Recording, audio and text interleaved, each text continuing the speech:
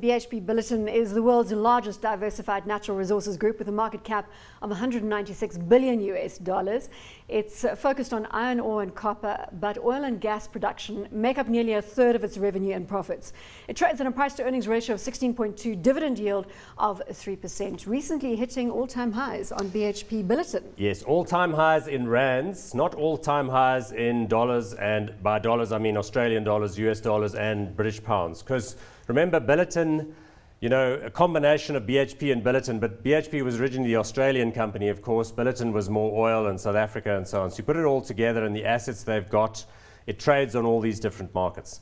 But, you know, people often think of it in terms of its coal and its iron ore and its kind of stuff down here, but its real important assets, Gulf of Mexico. Gulf of Mexico oil assets.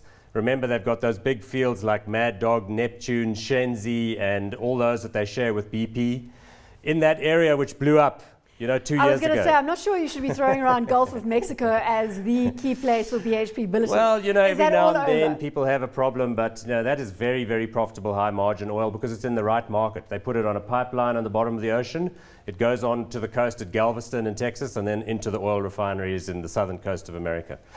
They also have gas and onshore reserves because remember they bought the Eagle Ford shale field in Texas from Chesapeake.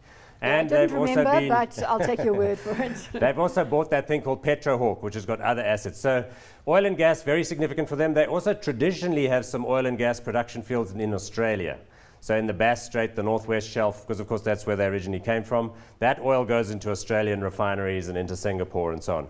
So oil, very important to Billiton. And yes, if you've got a positive view about this, you might well think Billiton, you but could you do don't have a positive view. You say it's going to be flat. So where do we go then? If you if you if you factor in if oil is so important in Billiton's life, and you factor in a flat oil price from here, mm. what's there to get excited about? Well, remember, it's not so much that the market is flat; it's that it's shifting. So in the old days, the Saudis would be making all the money and using it to buy Bugattis and gold tent poles and fresh falcons. Now, in fact, it's the Americans that are making the money, and Billiton is right there in that because they went in and paid what looked like top dollar for Petrohawk and for those Eagle Ford assets, but now they are the ones that are producing. You know that the production of BHP Billiton is about 250,000 barrels a day oil equivalent, which makes their oil operations three times the size of Sasol's oil operations. Actually, more like two times if you add in. I'm glad you rectified that because that's quite a big. Uh, so it's a big number. I mean, yes, the oil use the oil use in the world is about 80 million barrels a day, but they're producing about 250,000. All right. So you're saying you need BHP Billiton in your portfolio? You know, I think so. I think it is true to say that you know China has caused some people a bit of indigestion in recent years. It used to grow or provided 10%. a buying opportunity. It used to grow at 10% per annum. Now it's growing at seven and a half. You know, and it's looking like it's calming down. But if it does get a new lease of life from this economic meeting that I'm talking about, that would be a positive.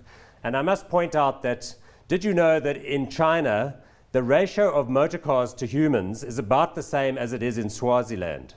So what I'm trying to get across to you is that China is becoming rapidly urbanized, its population is increasing its wealth substantially, and yet its vehicle penetration, the number of people with cars, is still extremely low. So the scope for more cars consuming more transport fuels is very, very large. Mm, I Even see though you pointed out the Mercedes uh, sales figures to me and telling me that the consumer is not depressed, as we've discussed extensively yeah, look, certainly not all the Chinese are going to buy Mercedes. They're much more likely to buy Chery QQs and uh, GMCs and things. But I just think that all things being equal, oil consumption will remain firm, and as some of the other tired reserves run out, that companies like Billiton, and then again, you can also buy Billiton simply for the iron ore and the copper assets. All right, so this is a very positive story in your book, Hot or Not on BHP Billiton. Definitely hot, and at the current level, it's really rewarding long-term shareholders that have waited since 2008 for it to hit this 325 plus mark.